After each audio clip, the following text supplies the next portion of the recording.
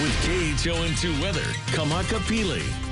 We're right there at Aloha Friday tomorrow, setting up our weekend, and it's looking to be beautiful. Just in recent hours, we did have a small craft advisory go into effect for the eastern portion of the state, at least until 6 o'clock in the evening, and that has to do with the trade winds, so I don't mind having state uh, to share with you that advisory is pushed out there, because these trade winds are helping to keep these warm summer days as bearable as possible.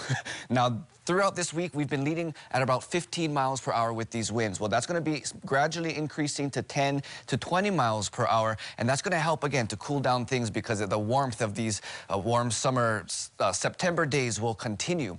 Now, we have a disturbance south of the island. That's actually part of hurricane season. An update, right now, we're not having any threats towards the islands. That system south of us is moving in a westerly direction, which is giving us, uh, giving us a clear to that. The biggest impact we're going to get from that system system are the high clouds that's going to be brushing up against the islands and over the islands for the next few days. But looking in terms of the shower activity towards the east of the islands, there's not much moisture until we get to Saturday night and then into Sunday. That's an old cold uh, frontal band that had passed north of the islands earlier this week that's finally making its way towards the island. So we can expect an increase of shower activity Saturday night and possibly throughout Sunday to end off the weekend on a damp note. But looking at our satellite right now, we just see some low-level pockets of moisture that may increase shower shower activity tonight for the windward sides, but for the most part, it's going to be mostly dry leading into this weekend. Looking at our ocean conditions, 2 to 4 for both north and south, 1 to 3 for east and west. For those areas that are prone to flooding, we do have some high tides and high level, um, uh, high water levels, which could be a nuisance in terms of flooding for the next few days. So just be aware of that.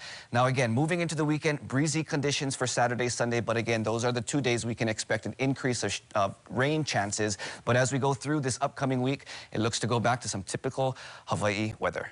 Joe, I give it back to you.